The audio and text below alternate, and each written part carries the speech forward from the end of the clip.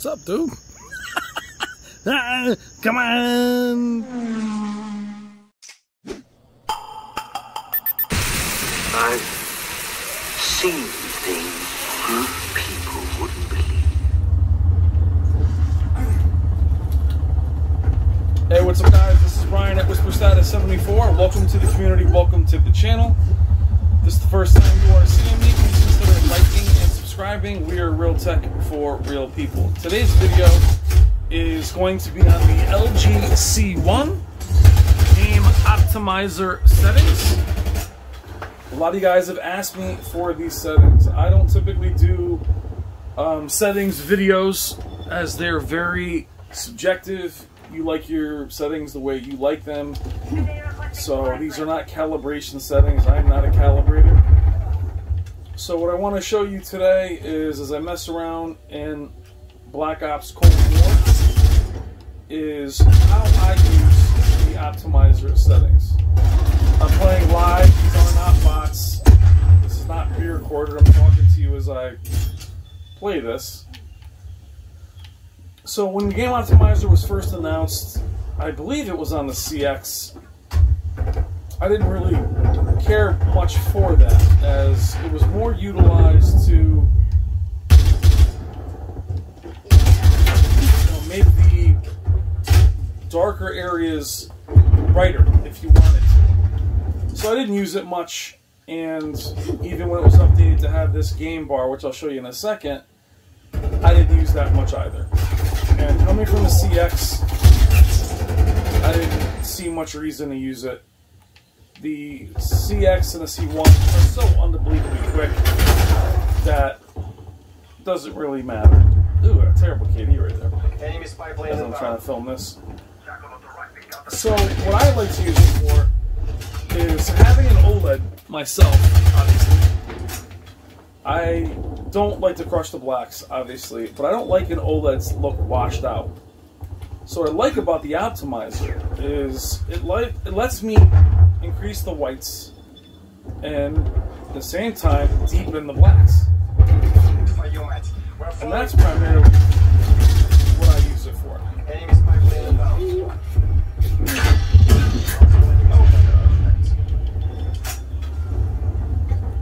So now in the camera it might look crushed to you, but for me, OLEDs just look better with more of a dynamic look to them.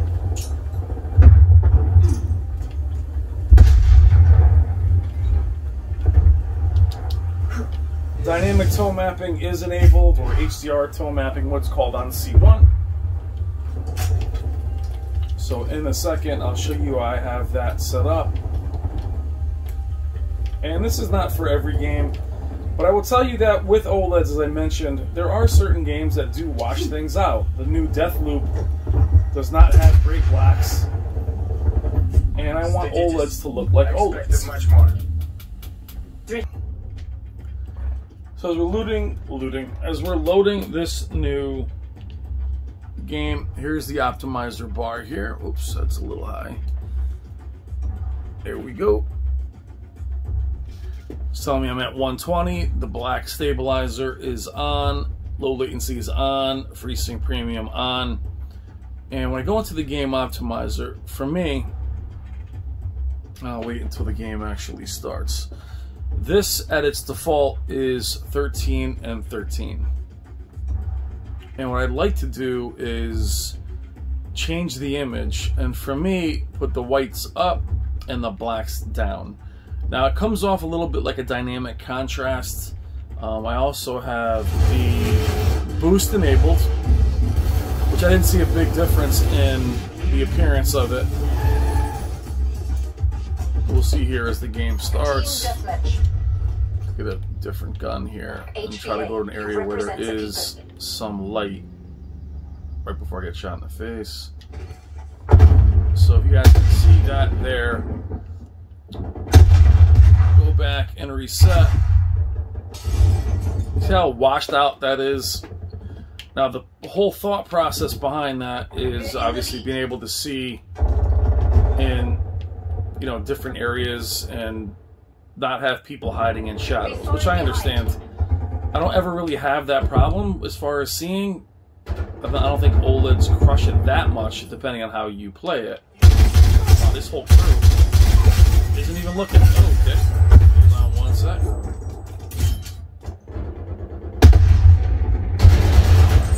First, I have the menu right in front of me. Can't see a thing. Alright, so as you can see, it doesn't look terrible. It's just very. Sorry. It doesn't look terrible. It's just very. As this menu burns into my screen. Oh my god. So, anyway. Sorry for this silliness. Anyway. As I restart, let's get back to our well lit area here. Okay, as you guys can see. So, what I had mine set to previously was to take the black stabilizer down. And it creates, you know, obviously much more contrast. Whoa. Come on around, come on around, come on around. Where you at? So it's probably too dark. I actually, you can barely see him. so I probably should have it up a little higher. But I personally like the look of the contrast. What I like about the enhancer, though, or the optimizer, keep calling it enhancer, the optimizer, is being able to darken the image without actually darkening the image uh, entirely. So, Black Ops is one of the few games that has, you no real way to change the brightness. Unlike Modern Warfare, and hopefully Vanguard is different than that. Clearly not safe sitting up here, but it's finding that balance between blacks being too black and the way I combat that is keep it at I think I had it I had it bring these up to 20 now coming back to that same air I'm on the wrong side my bad. Same kind of well lit area. I still see the detail in the gun and the light. But I have better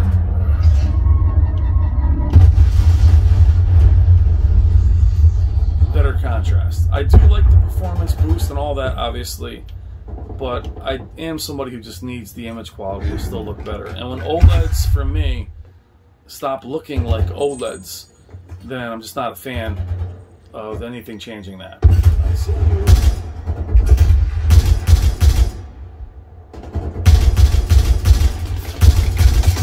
As I can't see that person. totally disproving the entire video. Alright, have a good day. Hold on. Enemy It's spy fine. Alright, so here we are in a more well lit area. Actually, I think I had this to six. Did I have the six? Yeah. So you can see where you can play around with it. But I think again, having this and I have um again HDR tone mapping enabled. And you're gonna hear from a lot of people, hey, this is right, this is and I'll tell you guys, the thing about settings is, you know, this isn't Steven Spielberg. You know, it's whatever you guys want it to be. It's a game. I don't necessarily need the game to look Enemy sentry turret detected super realistic. Yes, I want to be able to see my enemy, but I still want it to be cinematic and still look nice. AO. Hostile care And again, without having without having any uh, in-game options for the way it looks. Losing my love. I got you. I'm trying to shoot a video. Now I'm getting killed. Back into the light. You know, again, Hostile air patrol detected. resetting it. Enemy spy plane inbound. Hostile strike run inbound. It's just very kind of washed out. So again, for me,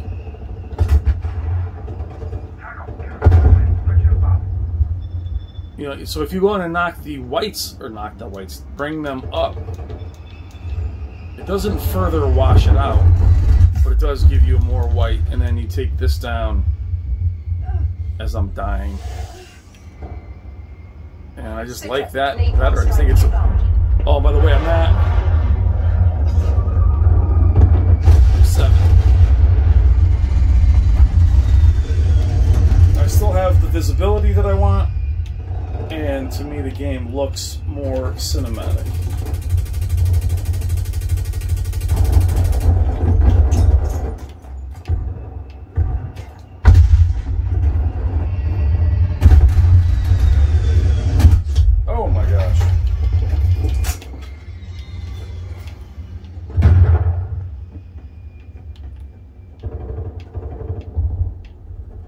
Now I know, like again, game settings for OLEDs are tricky, but I don't like changing the black level and again making them look washed out. As I mentioned, Deathloop, a new game, doesn't really have great blacks. It's very blue. So that to me, and if you have any kind of banding, which all OLEDs do, all panels do, you'll see them more on that light blue, light gray. Think like Resident Evil 2, when the, the remake was done, everything, was very light grayish. I can't stop them. Oh, there's that.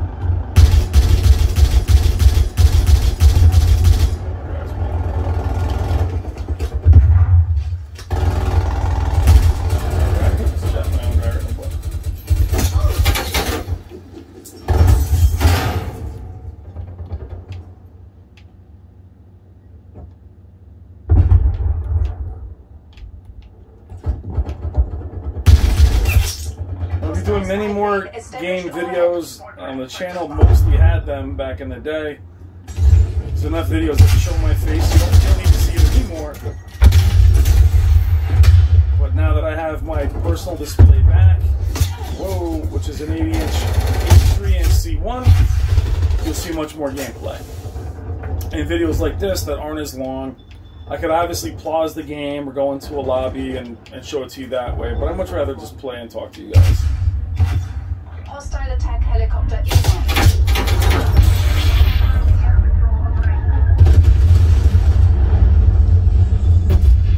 In the comments, please tell me what console you have, what games you're looking forward to. Uh, Battlefield was also delayed. Halo has been, you know, half the games coming out. What do you guys think?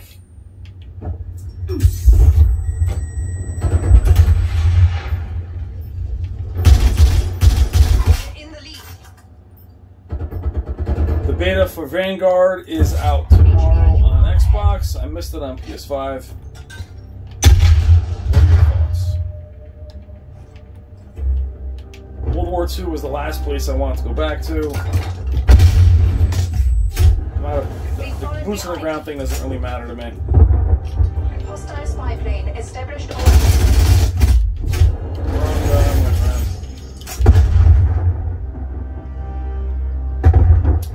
back to the game optimizer, I think it's an excellent option. You can also pick between, you know, RPG, first person shooter, standard. It's a really cool option. And again, letting you bring letting you bring up one and not the other is cool or one or the other is great. It's a great addition. Um, I'm very pleased with it. Deathmatch. All right, guys, and as we're chilling in the zoo here, which is a brand new, really old map, gotta hand it to Call of Duty. I mean, a lot of these maps were just redos, which I don't mind legacy maps; they're great and everything. But come on, man, like every these maps have not even changed. Um, I'll show you what game settings I am rocking myself.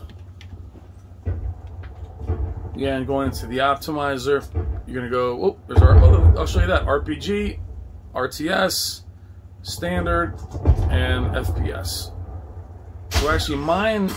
Are, that's my standard. It's a little bit darker. But as we come in, whoa, be? Back into all settings.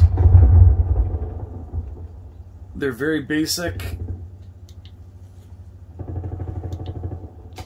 Brightness for me. Contrast, their screen brightness is 50.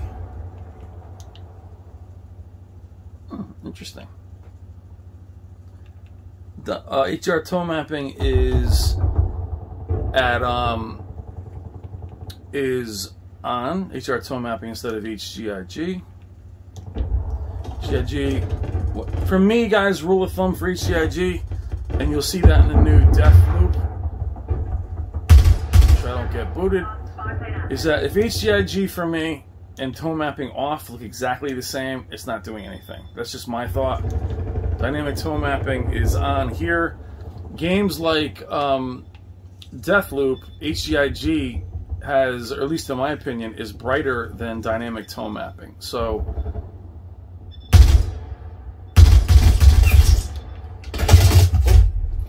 So I use it. I like things to look more poppy. It's pretty dark off. HGIG looks the same. So I leave it on, brightens things up. And all the rest of the stuff is pretty basic. Now, color depth, I have my color up higher. I do like a more saturated image.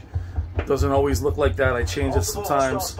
Fine tune, color gamut, auto detect. I do have that. Can change it. I keep it auto detect. And then for white balance, I like my image cooler. So you can see it there. It's cold 9. Um, I know a lot of people like warm. So they want to go to warm 50. I believe it's warm 50, which is the equal of warm 2. And it's not my favorite. So I don't love the really yellowish look or brown look to it. see if I can find this guy running around. I know it doesn't look as warm as it does to me in person because OLEDs do look cooler but I like it to be um, I like it to be cooler.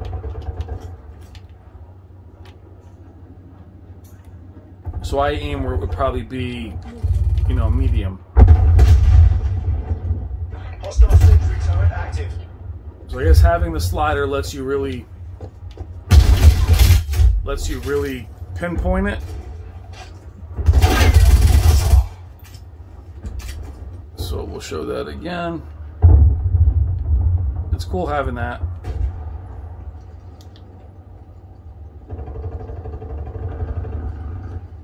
That's so hard to see when the TV when it's right in your way. Now again, guys, we're not calibrating anything. This is just messing with the color. For me personally, I like it to be just into getting into cool.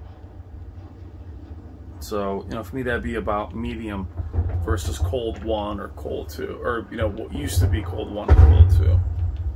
And to me, it just, well, the color of the coolers, color the coolers, the cooler the colors, oh my god. um, the crisper the image looks to me. You know, warm image can image look fuzzy. Same team, bro. So, up there. Get that triple. Come on, come on, come on, come on, come to. Ah. So that's it, guys. 18 minutes. Just talking smack while we play. Um, I like the game optimizer. I think obviously gaming the advantage as we camp in the corner.